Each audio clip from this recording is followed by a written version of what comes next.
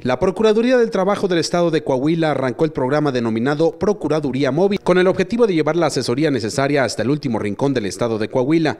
El titular de esta oficina estatal, Carlos Alberto Wow Ibarra, informó de los lugares que visitará este módulo para brindar información a la población sobre sus derechos laborales, principalmente en estas fechas de fin de año. Estamos eh, realizando brigadas en las colonias, estas se están programando en todo el estado para que la ciudadanía conozca los servicios que estamos brindando. ¿Qué es esto? Pues asesorar a todos los trabajadores acerca de la, de la aplicación de las normas del trabajo. Y esto, lógicamente, de manera gratuita.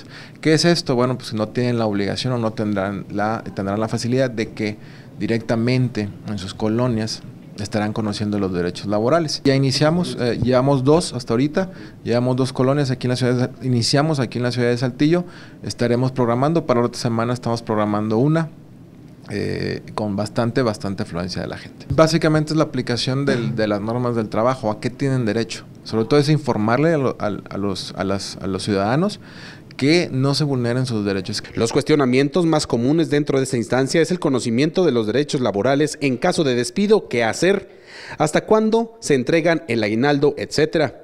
A esta fecha, esta estrategia ha llegado a 120 ciudadanos en esta capital.